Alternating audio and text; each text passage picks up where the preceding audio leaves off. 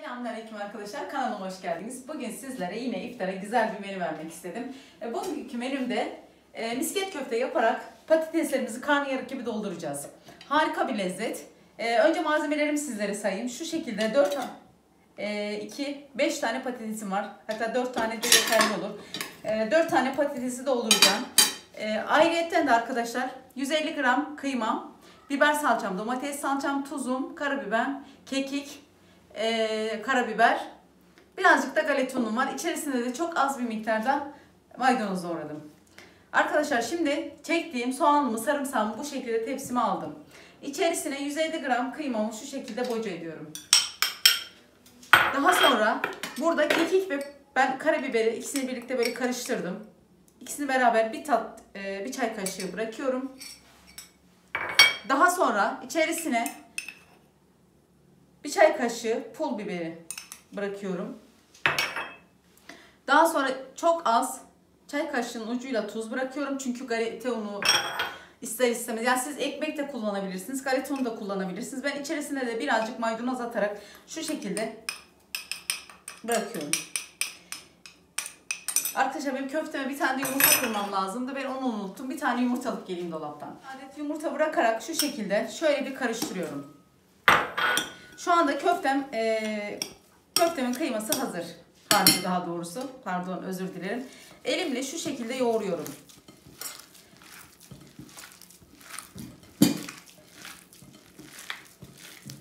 Bir 5-10 dakika, 5 dakika yoğurursanız yeter. Bir 5 dakika yoğurup daha sonra bu e, harcımızı dinlenmeye alıyoruz. Köfte harcımızı.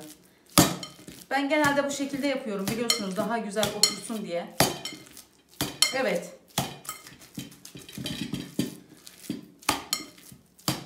Şimdi köftemizi dinlenmeye alıyoruz. Evet arkadaşlar şu anda patateslerimi ortadan ikiye bu şekilde böldüm.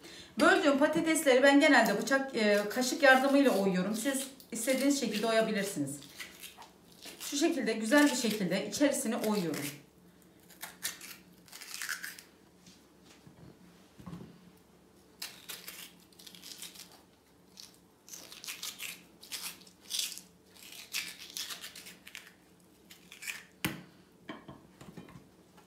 Gördüğünüz gibi çok rahat oyuluyor.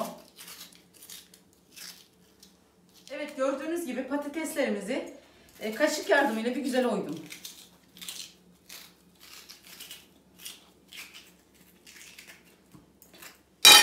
Gördüğünüz gibi bu şekilde oydum. Şu anda bunları ateşin altını yaktım. Bunları ateşte kızartacağım.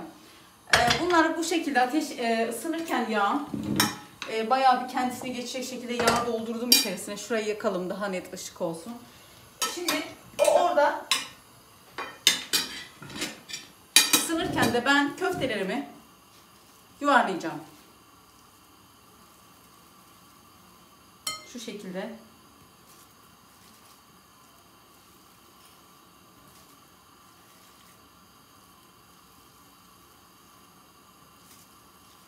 Minik minik köfteler yapıyorum. Gördüğünüz gibi minik minik köfteler yapıyorum. Bu şekilde yuvarlıyorum. Evet şimdi e, bolca yağımızı tavaya aldık. Yağımı ısıtıyor, ısıttım bir güzel. Daha sonra içerisine şu şekilde patateslerimi bırakıyorum. Bunları güzel bir şekilde altı üstü nar gibi kızarana kadar kızartıyorum. Gibi alt üstü nar gibi kızarana kadar patateslerimizi kızartıyoruz.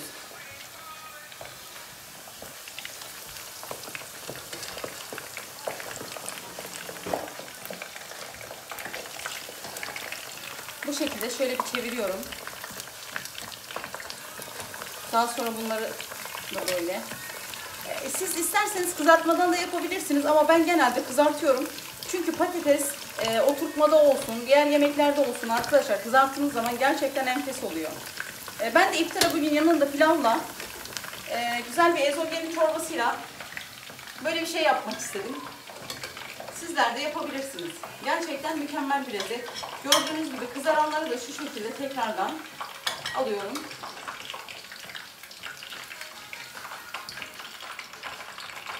Şimdi diğer patateslerimi bırakıyorum.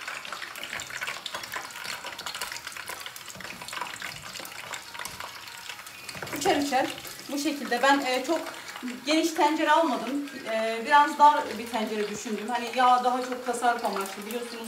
Ne kadar çok bol yağ koysak o kadar ziyan oluyor. Ben de böyle bir tencerede hani azar azar olsun ama güzel olsun diye düşündüm. Gördüğünüz gibi alt üstü nar gibi kızarana kadar patateslerimizi kızartıyoruz. Ee, Şimdi son e, patateslerimizi kızartıyoruz bir şekilde.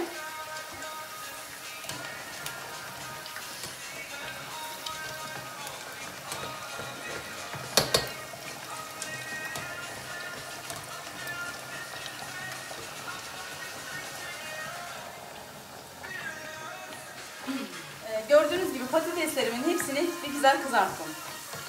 Kızaran patateslerimi şu şekilde yağını iyice süzdürerek alıyorum.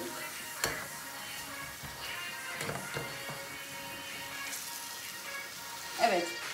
Daha sonra ocağımızın altını kapatalım.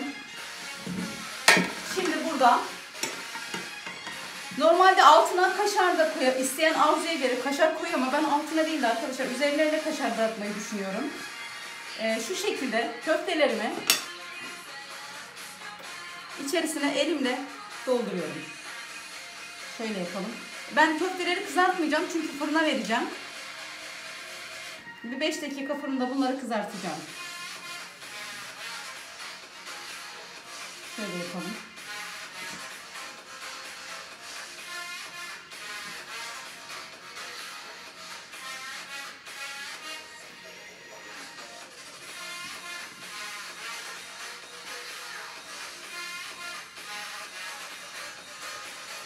Gördüğünüz gibi e, minik köftelerimi bu şekilde patateslerin içerisine yerleştirdim.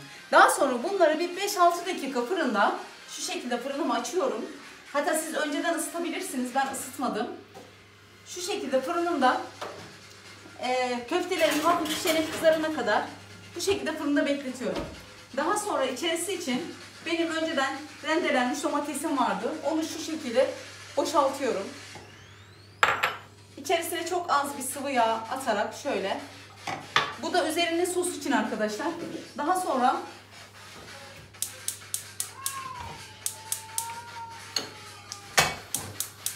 e, bu şekilde şey yaparken ben burada sosunu hazırlayacağım. Sos için de bir yemek, e, yarım yemek kaşığı domates salçam,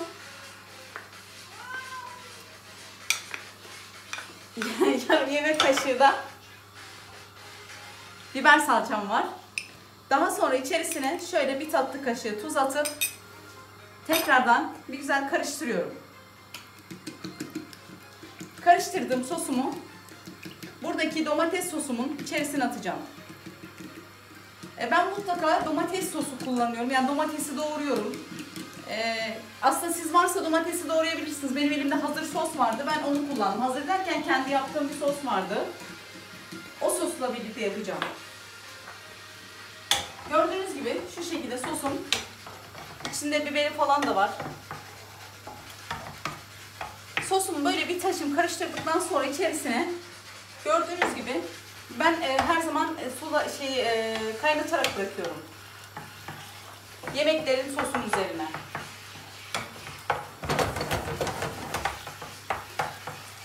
Hatta ben bunun içerisine de bir diş sarımsak atmak istiyorum. Şurada benim bir sarımsağım vardı soğanın içerisinde. Bir diş. Şöyle doğranmış sarımsağım vardı.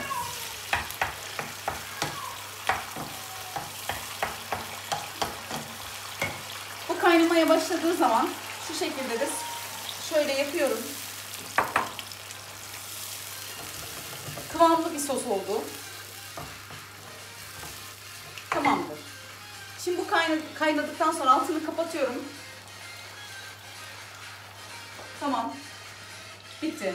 Daha sonra üzerine fırından çıkardığım patateslerin domates ve biber yerleştirerek tekrardan fırına süreceğim. Evet, e, fırından köfteli patatesimiz çıktı. Daha doğrusu patates dolmamız köfteli. Şu anda yaptığım üstünde e, altında kaşarları var, üstünde de kaşarları var. Üzerine çok az daha biraz daha kaşar attım. Bu şekilde gördüğünüz gibi yemeği pişti. Yanında da mükemmel bir pilavla şimdi sizlere sunum yapacağım. Şöyle göstereyim. Şu şekilde şöyle yapalım. Hatta iki tane bırakalım. Şöyle gördüğünüz gibi İçerisinde de kaşarlar eridi. Şöyle biraz suyundan, biberlerinden de alalım. Şöyle gezdirelim.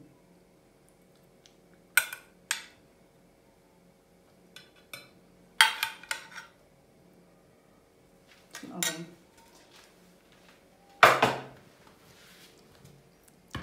Evet. E, menümüz de bu şekilde. Umarım beğenirsiniz. Sizler de bu tarifi denerseniz çok memnun olurum. E, bir de böyle deneyin. Küçük minnak köfteler yaparak, patateslerinizi oyup kızartarak, e, iftara güzel bir menü olarak, yanında pilavla, e, salatayla, çorbayla harika bir yemek olarak e, normal günlük yaşantınızda da aynen bu şekilde yapabilirsiniz. E, hepinize teşekkür ederim beni izlediğiniz için. Kanalıma abone olursanız çok beğenirim. Beğenilerinizi e, unutmazsanız daha memnun olurum. Hoşçakalın, sağlıkla kalın diyerek hayırlı Ramazanlar, hayırlı iftarlar dileyerek bugünkü menümü de bu şekilde bitiriyorum.